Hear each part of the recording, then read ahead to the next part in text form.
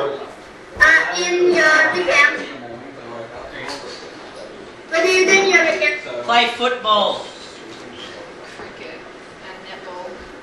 Do you know Aussie rules? Say it as well, then they get used to saying it. And Football want- and cricket. Hindi? Hindi? what do you do? What's the answer you What do you do? Um, I work. Huh? Yeah. Where? In a, in a bakery. Cakes. Hey, uh, do you like cook? This is Do you like to cook? Yeah.